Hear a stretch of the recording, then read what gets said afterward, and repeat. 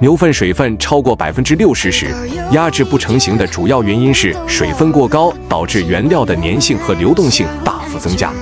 在压制过程中，过高的水分使得牛粪难以在模具中均匀分布，压力作用下，水分无法迅速排出，导致牛粪压块内部结构松散，缺乏足够的紧密度和强度，